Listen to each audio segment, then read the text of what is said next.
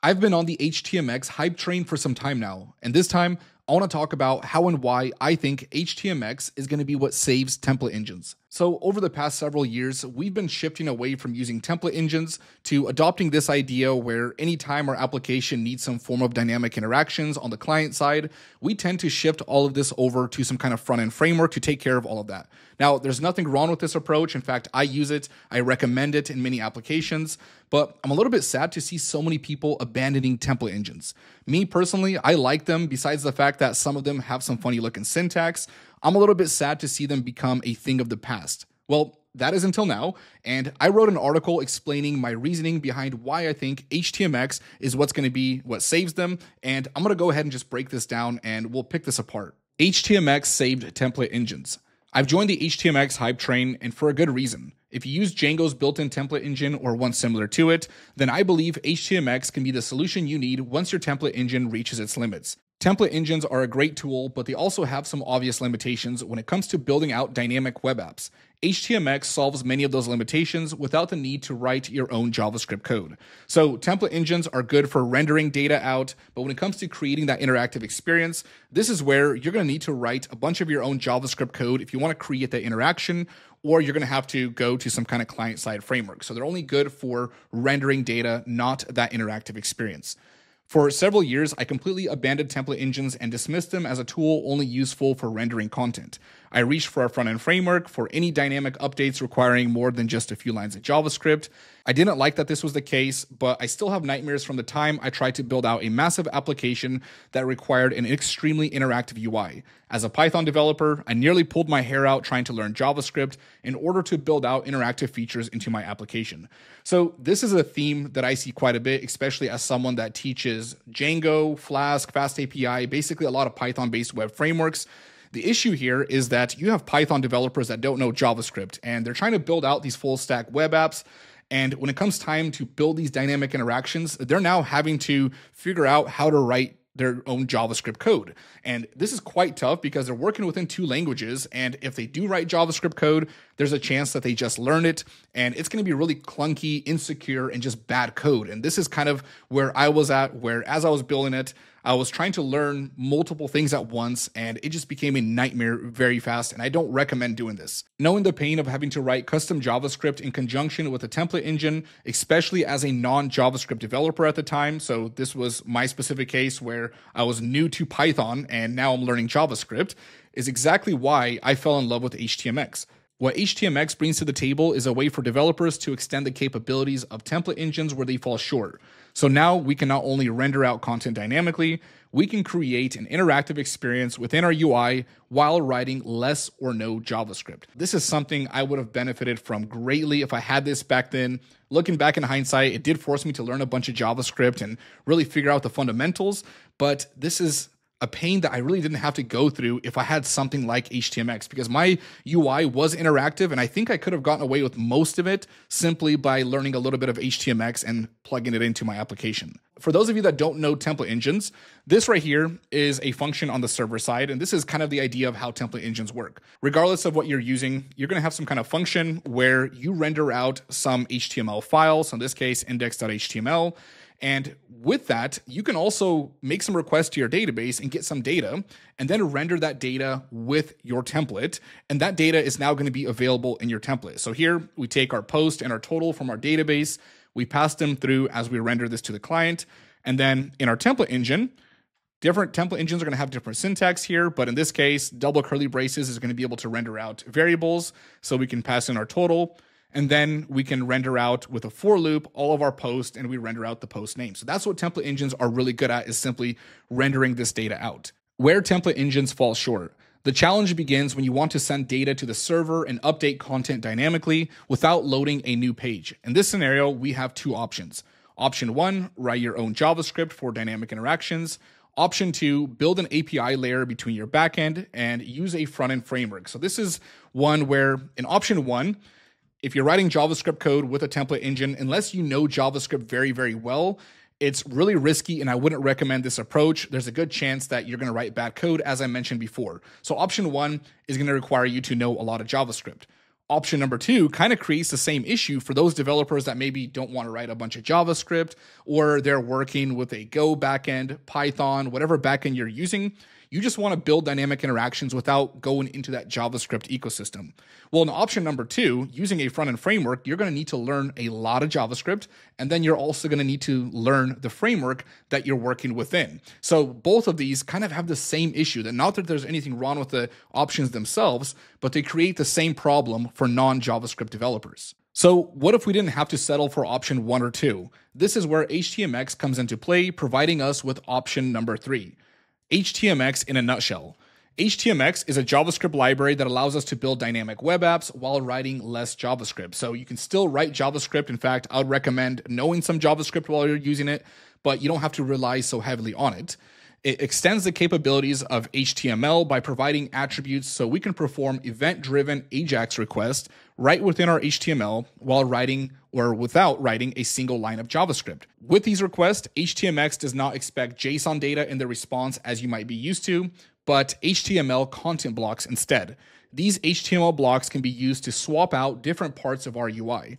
Here's kind of the core idea of how an HTMX request looks. So here we have a button, and with this button, we can make a request to our server by simply adding in a few attributes. So with HTMX, once added into our application, we can add in something like HX get. This is going to send a request to the endpoint of data. Then we can say, okay, go ahead and swap the outer HTML and then set the target of the element that we want to swap out. So we make the request, we get this container from the server side. We're going to bring this back, and this is going to swap out this div right here that contains this ID. So we simply make a request, target an element, and then decide how we want to swap that data out. So that's kind of the core idea here. Now, HTMX with the template engine, this is where things get really cool. So let's look at this example, which uses HTMX with a built-in Django template engine. The objective here is to make any item on the left side column clickable and update the page content on the right with the item details without refreshing the page. So we want to create sort of like a single page application experience. So here we have this one container right here that contains our post snippets.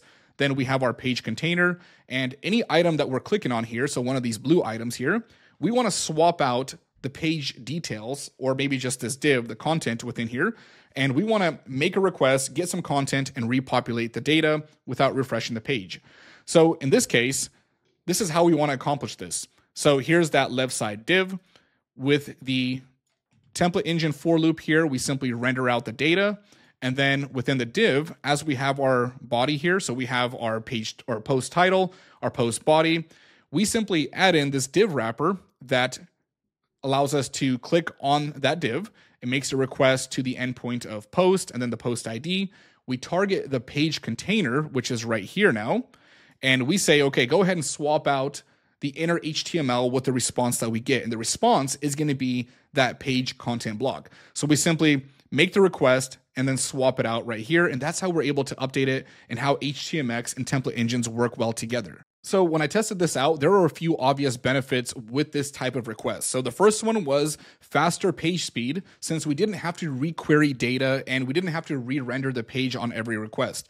So right here, we're rendering out all our post list, and if there's a lot of data in this list, anytime we click on one of these posts and we want to keep that list on the left side, we have to re-render that out. Maybe we can do some caching to fix that, but HTMX makes this so easy where all we need to do is swap out page content. So page speed increased because we're now no longer having to requery our database and we don't need to repaint the DOM every single time.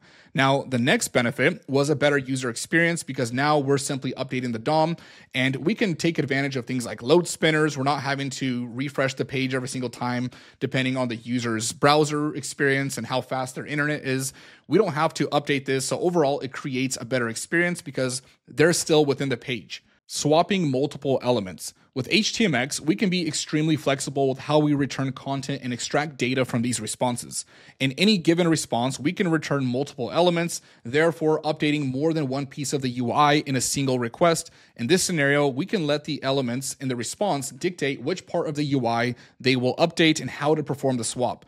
So typically when we make a request, we add in how we want everything to happen right here. We set the target and we tell it, hey, this is how we want you to swap the element. Well, what we can do is not add this part in, and instead, in a response, we can respond with multiple items here and let those items dictate how they swap the elements out. So in this case, we return a div with a total, and then we also return a page container. So let's say we're adding items or deleting items. We want to be able to update the entire page with multiple UI elements. So in this case, we have the ID of total, and we can perform something called an out of bounds swap. And we simply set this to true. So what HTMX is going to do here is it's going to look for another item within our page that has the ID of total. So by setting this to true, it's basically saying go ahead, find the other item on the page that has total, swap it out with a new item here. So this way we can update the post total anytime we need to actually maybe update like a count or just make sure data is in sync. Now the other item, we can also perform an out of bounds swap. But in this case, instead of just setting this to true, we want this div right here to be placed into another item. So the target here, we can set it right here. We can say, okay, the target element is the page container go ahead and set the inner HTML. So really, we're doing the same thing that we did here, except for we're allowing the response to control how it gets placed within our UI. Selecting elements from a response. So this is where things get kind of interesting.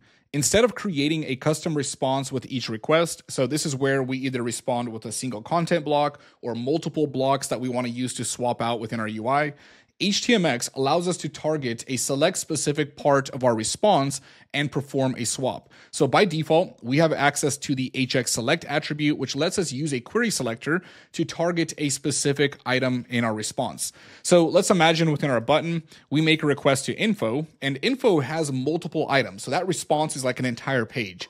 Now, we don't have to take that entire response and swap it out. What we could do is use HX select and we can say, okay, only give us the item that contains the ID of info details. So we use a query selector and we say only give us this single item. The rest of our response, just ignore it. And then we can take info detail and then we swap out whatever target that we set. We swap out the outer HTML.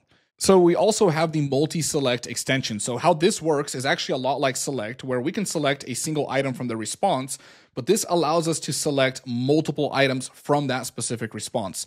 So in this case, we can add in multi into HX swap. We specify ID of one, then we say, okay, give us item number two. In this case, we tell it how to swap it out, and then the item with the ID of three. And we also say how to swap it out. So this is how this works. We have some kind of request here, and we also have the response. So let's say in the response from the client side, we make that request, then the template comes back to the client.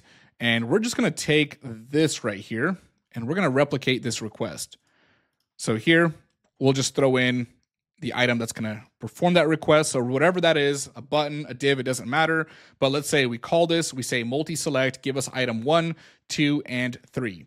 Now in the response, we have item one, two, three, and let's just do something like this just to make it look a little bit different. Then we have item four and five. So let's say our template looks something like this, right? It feels like we need to take all of this and swap it out somehow. We need to utilize every element. Well, in this case, we can say, okay, item number one here, wherever this is at, we can just go ahead and select it. Then we want to take item two. So let's say this is item two now, and we'll also take item three. Now, if we have item four and five here, we can just ignore these. So because this request right here is telling us we only want item one, two, and three, we're only going to get those items. So now in the response, this is our UI. We can say, okay, let's go ahead and just grab this item. Let's grab this over. We'll bring that here. Then we only want item two. We'll grab that over and we control how this is swapped on the client side. So that's how multi-select works. Everything else in that template is now going to be ignored. And this allows us to not have to create custom responses, but maybe reutilize templates that we already have and really just dictate what we want to use and what we want to ignore. So now for the conclusion. The beauty of all this is that we get the flexibility you would normally get with the client side framework within your template engine. Does this mean that we can replace front end frameworks altogether? And I just answer this and I say no. So here's kind of my thinking with this. Template engines are pretty cool, but they reach that limit very fast. We talked about that, kind of gave some examples here. And what I think is going to happen here is while we're stress testing and pushing the limits of HTMX, I think it's going to allow a lot of developers that like template engines where they would normally shift away. Maybe they're writing too much JavaScript. Now they're moving to some kind of front end framework.